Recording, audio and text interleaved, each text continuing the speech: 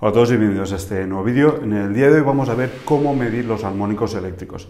Bien, en sí no es la forma de medirlo con, cómo se utilizaría un analizador de redes portátiles. Para ello os dejo aquí un vídeo las, las 10 claves principales para utilizar un analizador de redes portátil, sino el procedimiento que deberías de seguir para hacer un análisis prácticamente de cualquier tipo de perturbaciones eléctricas.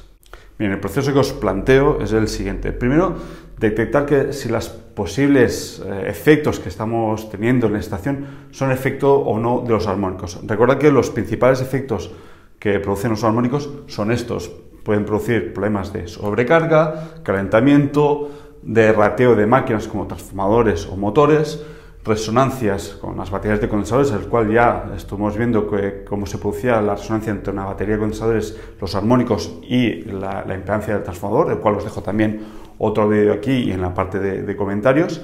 Y por último, una mayor eh, distorsión armónica en tensión presente en toda la instalación que puede afectar sobre todo a cargas más sensibles. A continuación pasaríamos a recopilar información de la instalación antes de, de ponernos a analizar, antes de podernos a medir una información básica tal como tener un esquema eléctrico de la instalación para poder escoger en qué puntos debemos de medir, cómo están distribuidas las cargas, qué tipos de cargas existen en cada uno de los circuitos. Otra información básica es saber si existe una batería de condensadores y de qué tipo, porque puede existir un problema de, resonancia con la batería de condensadores o eh, qué nivel de trabajo estamos, eh, en el cual estamos midiendo. No es lo mismo que estemos midiendo una máquina que está trabajando al 20% o al 80%. Eso nos puede desvirtuar a la hora de hacer el análisis final de la instalación. Luego pasaríamos a hacer una inspección visual, hacer un reconocimiento de cómo es el estado de la instalación. A veces el problema no son los armónicos, simplemente pues, puede ser un problema de, o de calor o de suciedad o que ha entrado un bicho dentro de la máquina y eso ha comportado un problema en, ella y no es debido a los problemas que pueden ocasionar realmente los armónicos. Por eso es importante que hagáis una pequeña inspección visual de, cómo es el estado de la instalación. Tras la inspección visual pasaríamos ya a hacer las mediciones, pero es muy importante que escojamos correctamente los equipos de medida que vamos a utilizar. Para ello, fijémonos que han de poder medir en, verdadero valor eficaz o true RMS.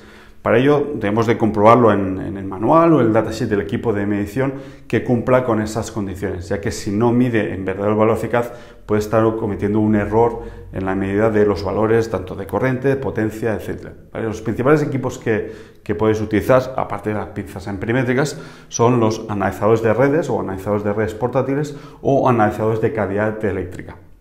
Tras haber finalizado las mediciones en diferentes puntos de la instalación que hemos definido en la parte de recopilación de información, pasaríamos ya a hacer el análisis, el diagnóstico de nuestra instalación. Para ello podemos hacer o puede existir dos tipos de análisis.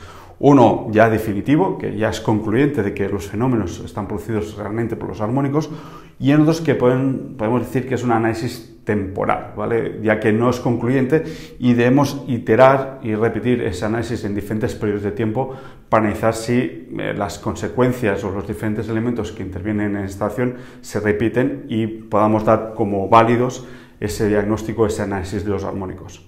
Y en la última fase eh, estaría ya la solución, que a veces, en función de cómo haya sido el análisis, puede ser que haya o no haya solución, ¿vale? Pero a partir de, lo que analicemos, los diferentes puntos, podemos determinar que pues, necesitamos simplemente una reactancia línea, o un filtro de absorción, o una batería con filtros de rechazo, un filtro activo o lo que sea, ¿vale?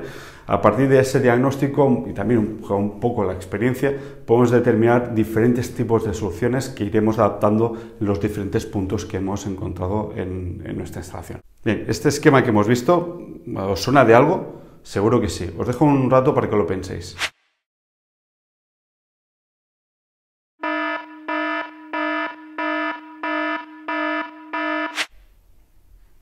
¿Qué? ¿Ya está? ¿Ya lo tenéis?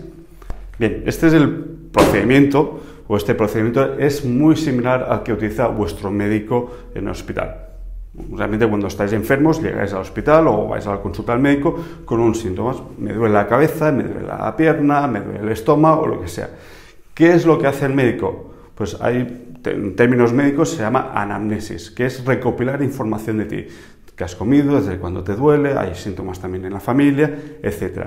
Y a partir de ahí continúa el proceso de análisis o de diagnóstico, que sería hacer una exploración física y luego ya a partir de aquí ya escoge diferentes métodos de análisis, ya sea una analítica, o te toma la temperatura, o te hace un TAC, o, lo que sea. Y a partir de ahí analiza los resultados, o va iterando a través de él, y te va diagnosticando una solución, o un medicamento, o una rehabilitación, o lo que sea.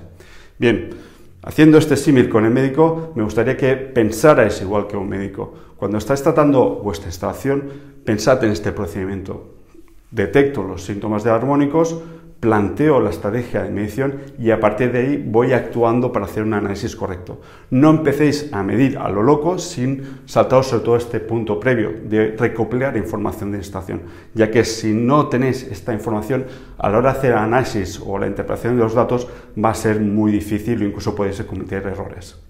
Bien, eso es todo. Espero que os haya gustado, os haya quedado más claro cómo hacer las mediciones de armónicos eléctricos. Y ya sabéis, si tenéis cualquier duda, cualquier comentario, lo podéis dejar en el apartado de comentarios de este vídeo o en el apartado de contactos del blog fornines.es.